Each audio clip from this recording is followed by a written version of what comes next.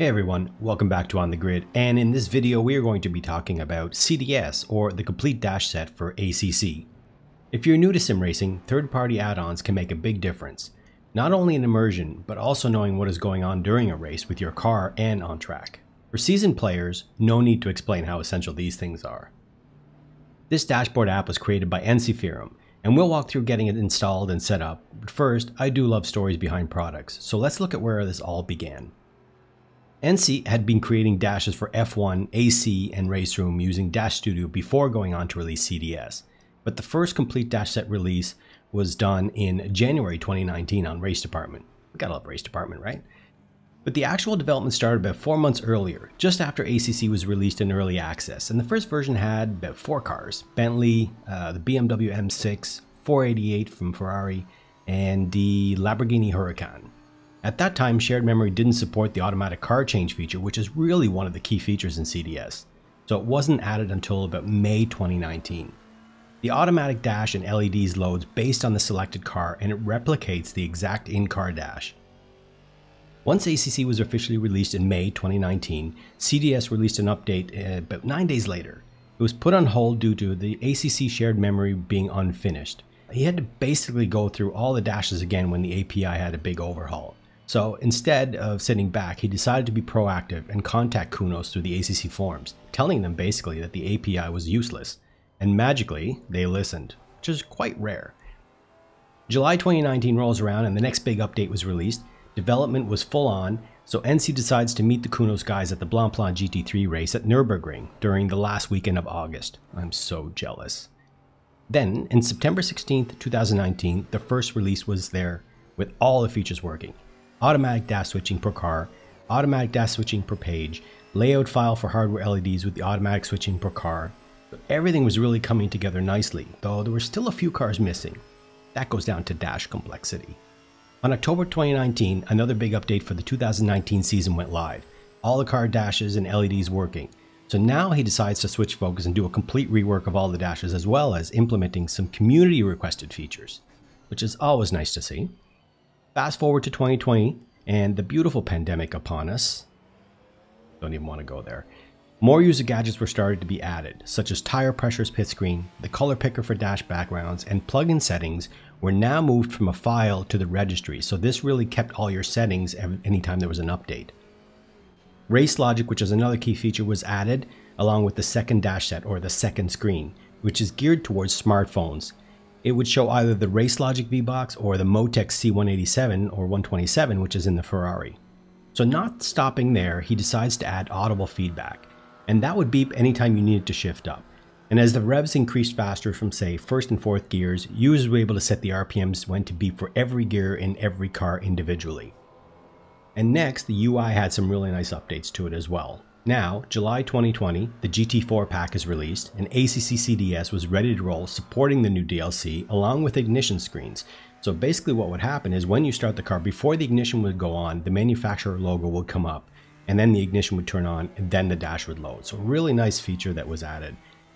So as you can imagine after that development roadmap, it was time for a break away from CDS.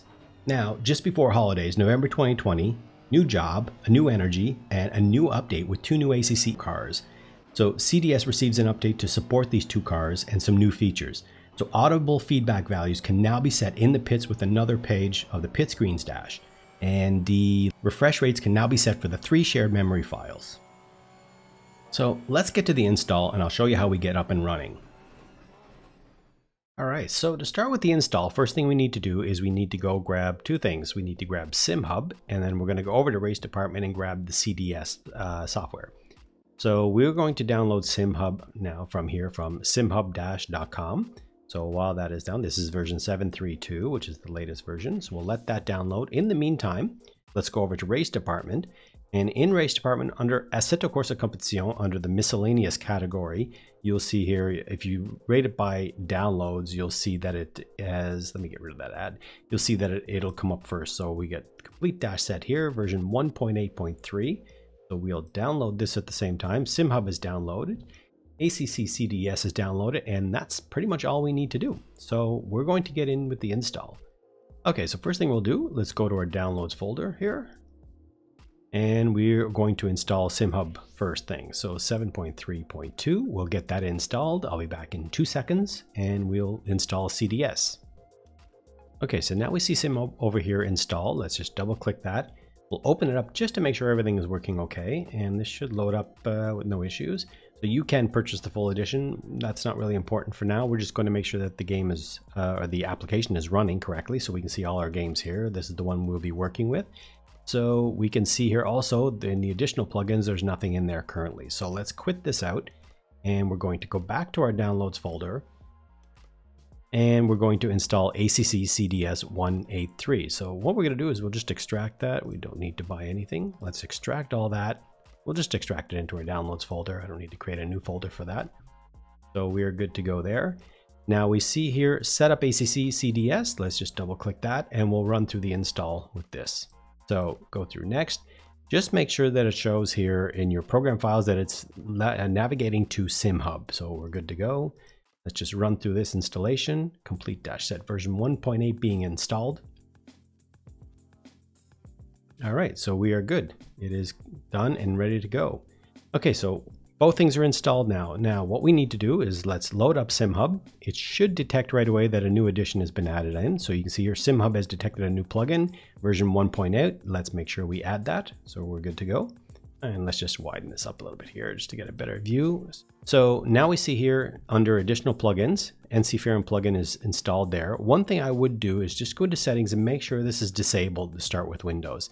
It's just better to not have SimHub load up every time unless you know for sure that you're just it's just a dedicated sim racing uh, computer uh, then you know you can leave that enabled. But I choose to have that off. So once we go into additional plugins here we're going to go over to the NC plugin uh, section under additional plugins and let's look at the options. So there's a few things you can have. You have them lined up with your sub menu dash second dash hardware audible feedback shared memory and info credits so what you can do is you can choose to have either the simple race position widget, you can have the blinking gear in the background, which is where the gear is. You'll see a flash on the, uh, you know, on the gear once it's time to shift.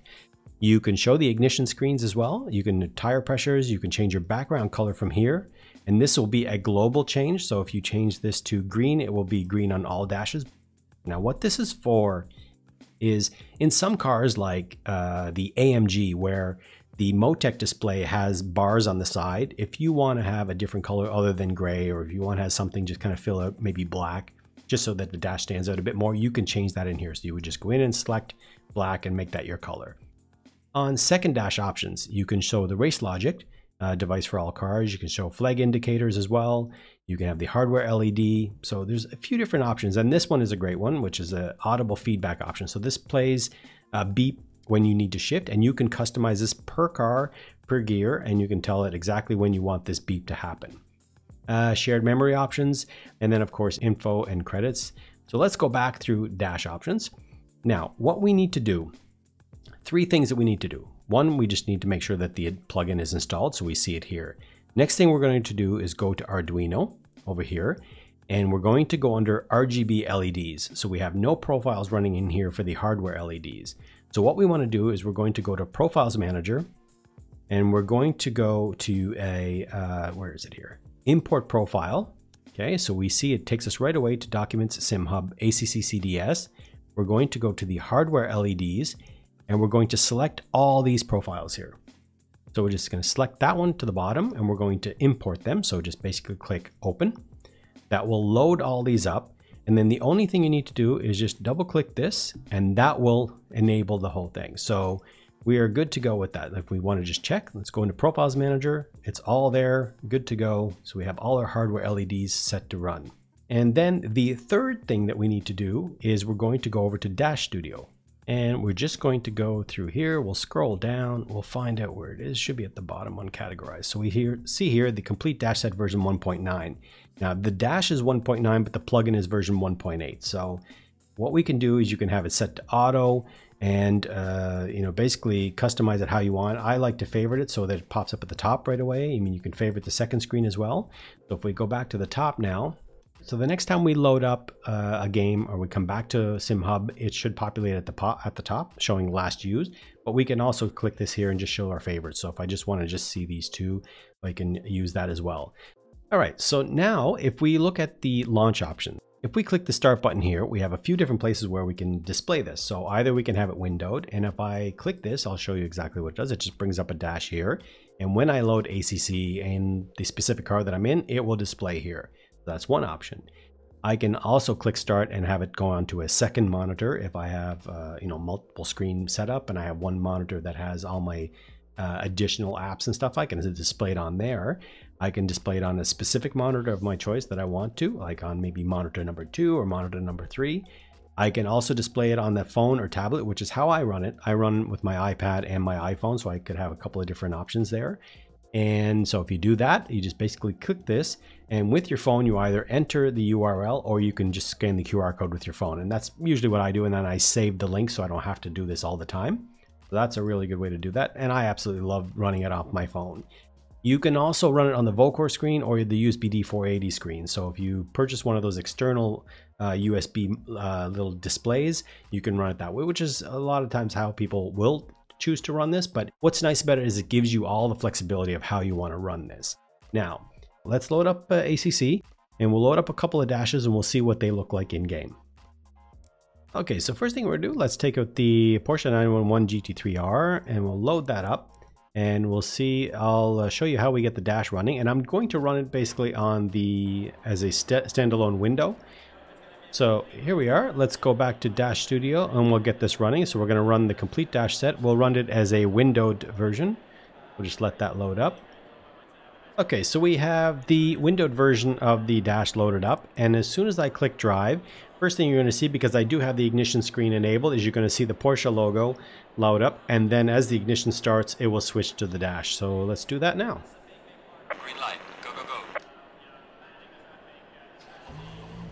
And there we have it. Isn't that a beautiful thing? Okay, so what I do want to show you now is where I change the background color. I switched it to black. Let's take out a car that does have a square uh, Motec display. So we'll get out of this and I'll load up another car.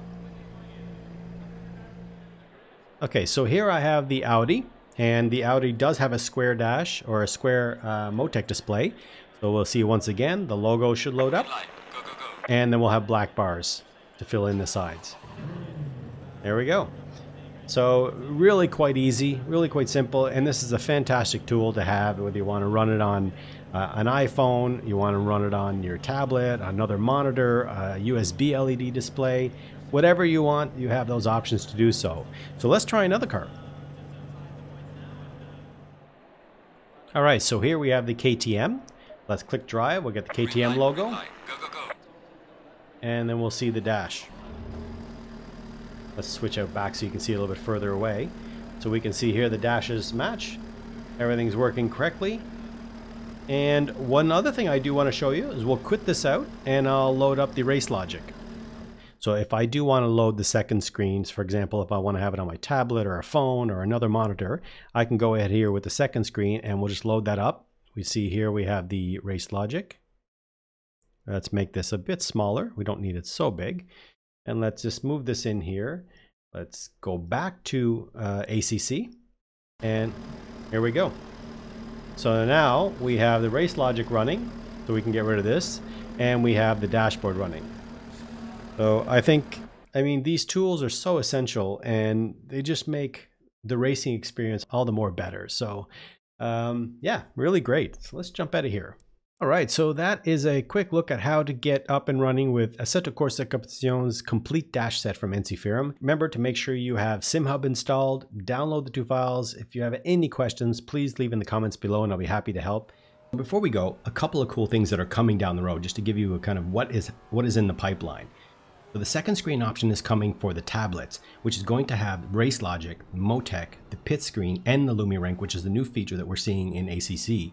This is going to all be on one screen and you can move it around how you want, adjust it, uh, tailor it to how you want, what you want being seen on there. So that's a really cool thing that's coming for those who do like to use, you know, tablets or phones.